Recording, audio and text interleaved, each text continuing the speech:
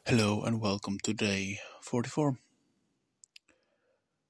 It is a bit of a peculiar day, I would say, because in, in a strange way, I did all there was to do for all of the things that I planned, all the things that I promised to myself, including uh, writing and reading and meditating and living healthy in the gym and the cardio and all the stuff. And at the same time, it's been a weird wrestling in my mind to do those things and right now, at the end of the day, it's quarter past 11, and I can see that those things made my day way, way better. They actually did add quite a lot of flavor to it, and I think it was a good day. I managed to finish and edit the, the story that I like that I'll be sending for Reedsy prompts. I've been continuing writing on my working on my own stuff as well the session in the gym was good. My meditation was, well, average, which means bad. and the whole day have passed. And actually, it is quite difficult for me to explain why I find it all so peculiar. It was just a normal day. I just did all my stuff. But I think the weird part is that there was a big part of me that has been resisting this day, and I have a feeling that this part of me is awake, alive, and functioning every single day.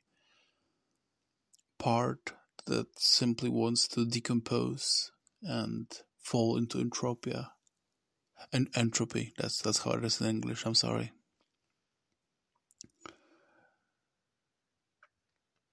If I would be a character in a Michael Moorcock novel, I would probably say that it's a battle between chaos and the law.